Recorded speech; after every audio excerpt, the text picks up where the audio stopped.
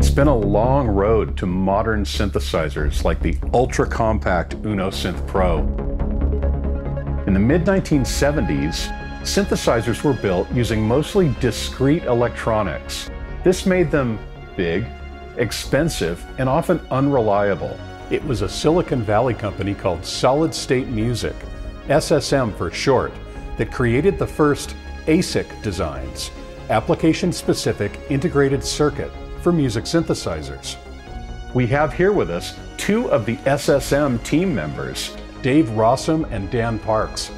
Dave and Dan have recently begun making synthesizer chips again as SSI, Sound Semiconductor Incorporated, carrying on the legacy they began over 45 years ago. So, Dave and Dan, thanks for joining us. Great to have you guys here. Good to be here. So, for myself and so many others, the SSM chips were always regarded as sounding superior to the Curtis chips. For example, a Rev 1 or Rev 2 Prophet 5 uh, will sell for double what a Rev 3 Prophet 5 will sell for today on the vintage market. And then, somehow to validate this, uh, last year Dave Smith released the Rev 4 of the Prophet 5. And to differentiate the Rev 4 from the old Rev 3, he added your new SSI filter chip in addition to the, the classic Curtis filter chip that's in the Rev 3. So you could basically get the Rev 1 and 2 sound of the classic SSM chips and then the Rev 3 sound of the Curtis chip. What's your impression of this? So first of all, I, I have to say that uh, you know Doug was always a friend, um, very much a gentleman. He was just a wonderful guy. Um, I used Curtis chips and EMU products as well as SSM chips. So while there certainly was um, uh, animosity that's long since been resolved when uh, Sequential shifted over to using the, the Curtis chips, one of the things that if you knew Doug, you would you would know this was true. Was he would never um, consider expropriating somebody else's intellectual property. So um, I think one of the reasons that his filters sounded quite different uh, from ours was that he just avoided anything that could have been at all similar to the chips that I had designed and came up with his own ways of doing filters. And when you do that, they're going to have inherent differences. And uh, um, I'm sure also, because Doug was a brilliant guy, I have no question that had he um, had the incentives first, he probably could have come up with the designs that I did, and, and probably the same uh, the other way around. Um, but uh, we sort of got there first with the, the designs that had um, more friendly had more character in, in, the filter. And, and so I, I, absolutely there is a difference in the sound of the filters. We all knew that. Again, I'll, I'll, I'll be blunt that I was, uh, the, the filter I loved was the SSM 2044. Uh, that's the sound that I really like, and that I always consider the 2040 a little bit inferior to that. But uh, one of the things I love about musicians is that they discover where to use a sound, and the SSM 2040 uh, fits into more places in modern music. Uh, a lot of people just absolutely love that sound. Plus, there are ways of uh, more ways of tweaking the the 2040 to, to get it to sound a little different by just external analog tricks, and I think people are doing that as well. So absolutely, the filters sound different, and the the 2040 uh, has a really interesting sound. And Dan, uh, synth enthusiasts like myself uh, rejoiced a couple of years ago when we heard that you and Dave had started SSI, basically uh, taking the legacy of SSM and putting the band back together. Uh, tell us uh, the story behind this. Uh, we reconnected around 2016 or so, I think it was, at a trade show. Um, and at about the same time, I mentioned I was a bass player, I got interested in synthesizer bass. I wanted to start playing um, synth bass. And I was kind of shocked since I had not been paying attention that there'd been this huge renaissance of analog synthesizers.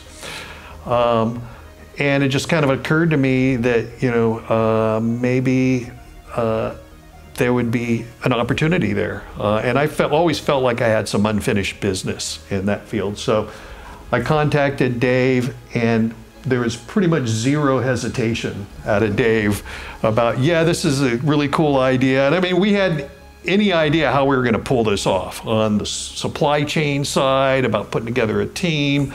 Um, but it surprisingly uh, came together uh, quite easily. And um, our first chip was an update to the SSM 2044, the, the ladder filter that he referred to as the SSI 2144. And it coincided correctly with uh, Dave Smith's Prophet X uh, because he wanted a you know filter chip for that.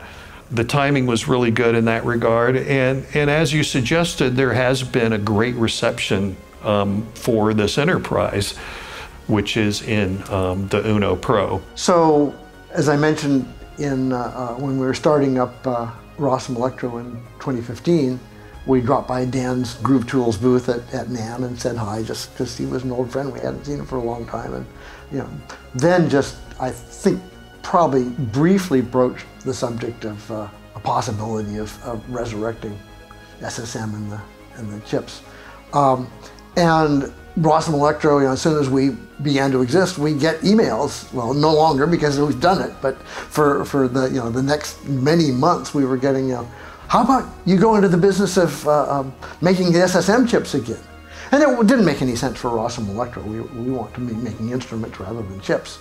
But when Dan got in touch, that was why it was such a no-brainer to say, of course, is because we knew the demand was there in the Eurorack market and also with some of our professional contacts. Uh, but I think we decided early on that uh, rather than you know bringing back chips from decades ago uh, with the you know the technology for terms of process and manufacturing technology and two really really great chip designers that's kind of a waste it's i think it's a much better thing to design um, ics for well now 2021 so that's really our focus is to develop new ICs rather than, you know, look too closely back to things that were done back in the 70s and 80s.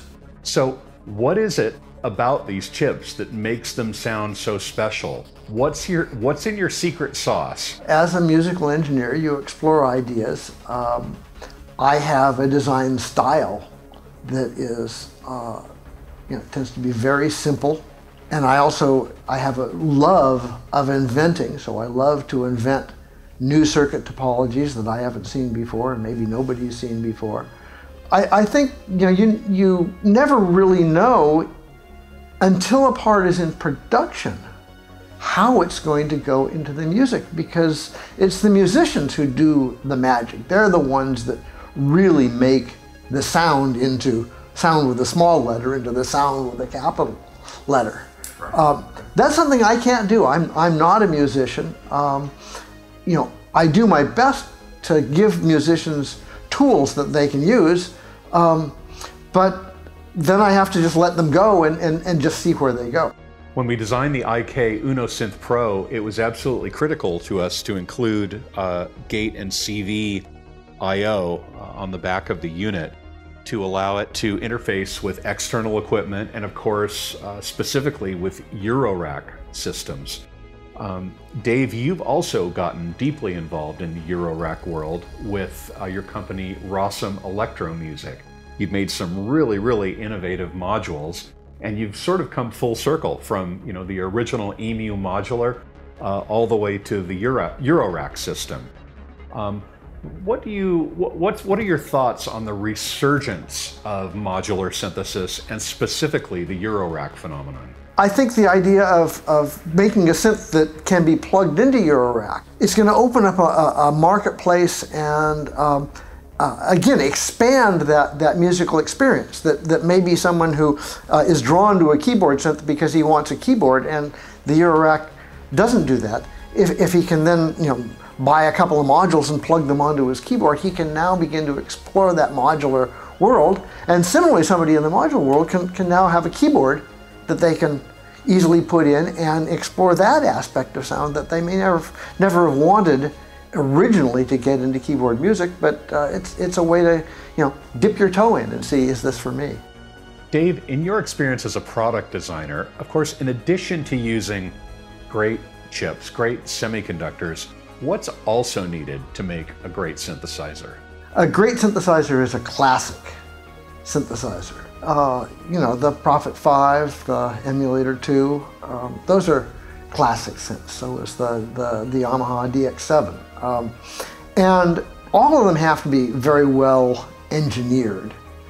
You've got to not only have the, the sound path um, capable of creating the sounds, but you've got to be able to, to um, have the, the control structure, the, um, everything about the instrument has to allow those to be accessible to the musician. Um, but I think you also need to be able to allow the musician to exercise his creativity, to, to get a sound that is unique to the individual and to the song that's being performed. Um, and then, you know, I said it before, there's, there's some dumb luck involved too, that uh, uh, the sound has to be right for the time. You know, the SP 1200 uh, was the right sound at the right time to be able to inspire a, a, new generation of artists who never, many of them never even realized they were artists until they heard that sound and it spoke to them. Um, and so uh, I don't think you can plan to make a classic synth, that it sort of happens, but you certainly can uh, engineer things so that they are capable of being classic synths.